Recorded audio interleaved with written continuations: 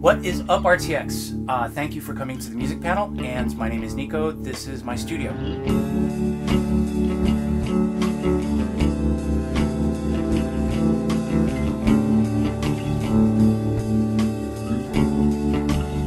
going to show you some instruments that you've heard before, so now uh, you will hopefully know what they look like.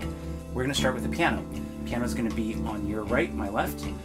It's an old Steinway, and it's the piano that you heard in Contact Redux, uh, expertly played by Meredith Hagen.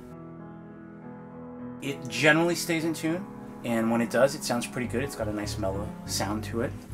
We're going to look at some different instruments now.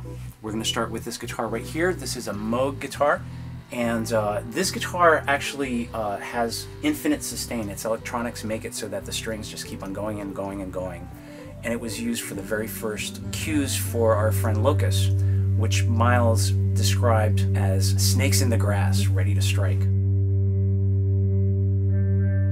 And the same guitar was used a lot in the underwater shots for season 15. Next, we've got my ISO booth and it's not a real ISO booth because it's not completely isolated. Um, it's got four panels. I don't know if you can see them in this shot. Uh, one, two, three, four that are four by eights and four inches thick uh, with uh, acoustic absorbent material.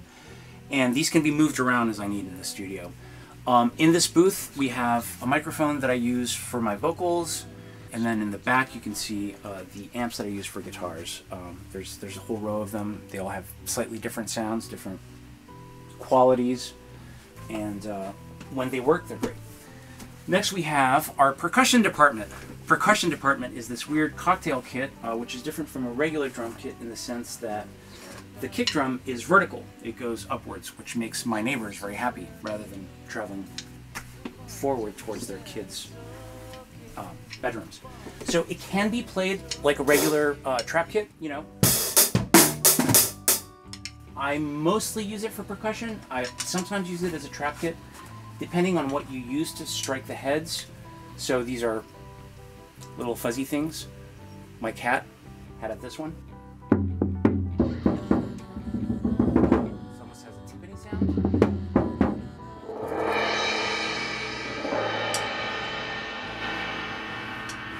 Uh, cymbals can also be used, I mean, as regular cymbals, but you can also do like weird creepy sounds with them. Uh, you can also do swishes with this weird contraption. Suggesting that something terrible is about to happen, like I'm to drop this, whatever it's called. And so it's just a, a handy little thing to have, you know, when you're trying to lay down basic ideas for percussion. Um, next, we have the most important addition to my studio, which is Maya. Maya, sit. Can I get a sit? Get a baby? Here you have an arpeggione. This is an 1820 invention. It's the body of a cello. Um, it's got six strings. It's tuned like a guitar. In RVB, I'm trying to think of where I used it. Uh, the death of Felix, when you know Felix falls down. There's this sort of like kind of glissando. That guitar right there, that's uh, copper Danelectro baritone, 1956. That's what the original RVB theme was written on, and was used a lot in seasons one through. It, it's been used everywhere. This is sort of a regular guitar version of it, uh, 1960. Fender Telecaster, that's the sort of the cowboy guitar that you hear a lot in RVB. Finally, let's talk about synthesizers. Let me move this chair.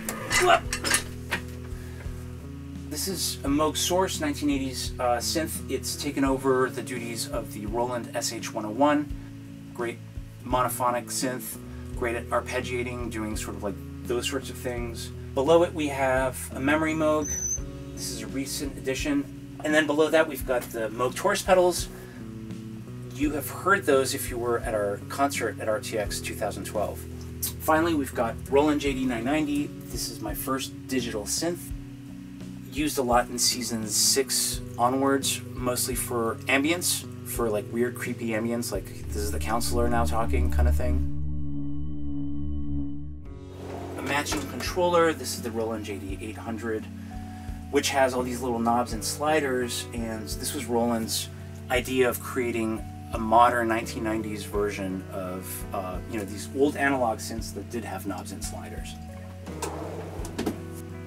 Lastly, we have my recording setup, which is a laptop from 2012.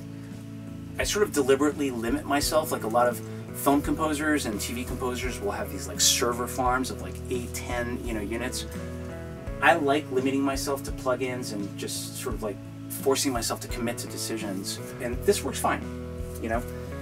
The main program I use is uh, Cubase. I've been using it since about 2005. Cubase SX3 was the first version that I saw. And I'm now going to show you a cue from season 15 and you're going to get to hear some of the instruments that you've just seen.